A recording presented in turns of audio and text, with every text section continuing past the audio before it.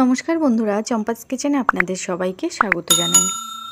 আজকে আরও একটা সম্পূর্ণ নিরামিষ রেসিপি আপনাদের সাথে শেয়ার করব, তা হলো মিষ্টি কুমড়োর ডাটা দিয়ে মটর ডাল। ডাল রান্না করতে খুব বেশি উপকরণের দরকার হয় না।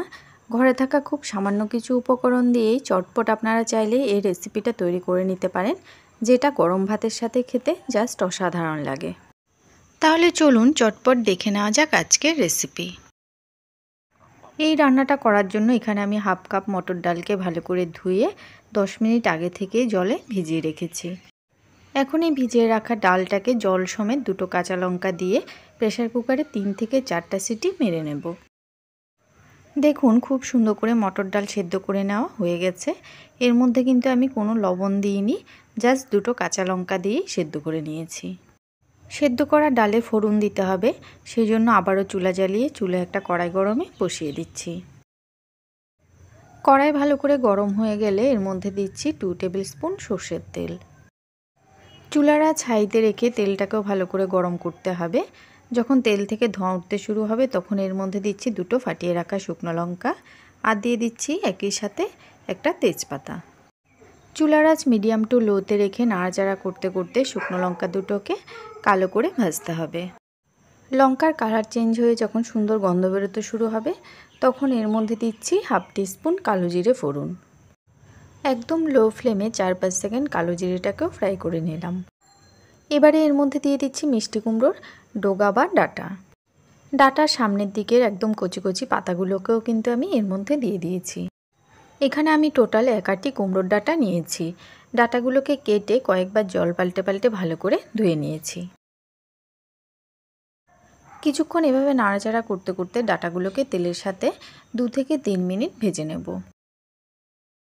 এই সময় এর মধ্যে দিয়ে দিচ্ছি ওয়ান অ্যান্ড হাফ টিস্পুন লবণ। আর দিচ্ছি হাফ টিস্পুন হলুদ গুঁড়ো। এবারে বেশ ভালো করে নাড়াচাড়া করতে করতে লবণ আর হলুদকে ডাটার সাথে মিশিয়ে নিচ্ছি।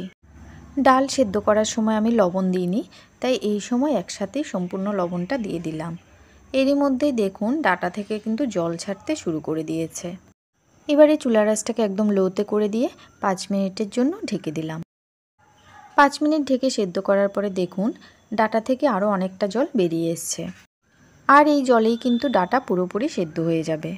এইভাবে ডাটা ভেজে যদি ডালে ইউজ করা হয়, তাহলে ডাটার কাঁচা গন্ধ কিন্তু আর থাকে না। ডাটা কিন্তু এখনও পুরোপুরি সেদ্ধ হয়নি, তাই চুলা রাসটাকে লোতে রেখে আরও পাঁচ মিনিটের জন্য ঢেকে দিচ্ছি।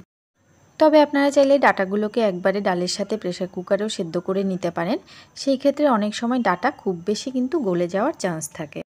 এইভাবে কিছুক্ষণ ভাজার পরে দেখুন, ডাটা সম্পূর্ণ জল শুকিয়ে গেছে আর ডাটাও সেদ্ধ হয়ে গেছে। এবারে এর মধ্যে সেদ্ধ করে রাখা মটর ডাল দিয়ে দিলাম। প্রেশার কুকার ধুয়ে আরও হাফ কাপের মতো গরম জল এর মধ্যে দিয়ে দিয়েছি। এবারে চুলা রাসটা হাইতে করে সব কিছুকে ভালো করে মিশিয়ে ডালটাকে ভালো করে ফুটতে দিতে হবে। এই সময় এর মধ্যে আরও দিয়ে দিচ্ছি দুটো চিড়ে রাখা কাঁচা পাকা লঙ্কা আর ওয়ান টিস্পুন চিনি। নুন মিষ্টি ঝালের পরিমাণটা অবশ্যই কিন্তু নিজেদের স্বাদ অনুসারেই দিতে হবে। দেখুন, ডাল টকবক করে ফুটতে শুরু হয়ে গেছে। এবারে চুলা রাসটাকে মিডিয়ামে করে দিয়ে ডালটাকে আরও দু থেকে তিন মিনিট ফুটিয়ে নেব। কিছুক্ষণ এভাবে ফুটিয়ে নেওয়ার পরে সবার লাস্টে দিচ্ছি হাফ টিস্পুন ঘি। এটা এই রান্নাতে খুব সুন্দর একটা ফ্লেভার নিয়ে আসবে।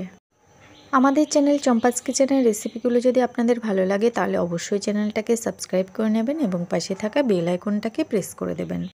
এতে করে আমার আপলোড করা নতুন ভিডিও নোটিফিকেশান সবার আগে আপনার কাছে পৌঁছে যাবে। ঘি দেওয়ার পরে ডালটাকে আরও এক মিনিট ফুটিয়ে গ্যাসের ফ্লেমটা অফ করে দিলাম। মিষ্টি কুমড়োর ডাটা দিয়ে মটর ডাল গরম ভাতের সাথে পরিবেশনের জন্য কিন্তু একদম রেডি তো বন্ধুরা, আজকের রেসিপিটা কেমন লাগলে অবশ্যই আমাকে কমেন্ট করে জানাবেন। ভালো লাগলে লাইক করবেন আর আপনার বন্ধুদের সাথে ভিডিওটাকে অতি অবশ্যই কিন্তু শেয়ার করবেন। এতক্ষণ আমার পাশে থেকে ভিডিওটা দেখার জন্য অনেক অনেক ধন্যবাদ। ভালো থাকবেন, সুস্থ থাকবেন, পরের ভিডিওতে আবার দেখা হবে। বাই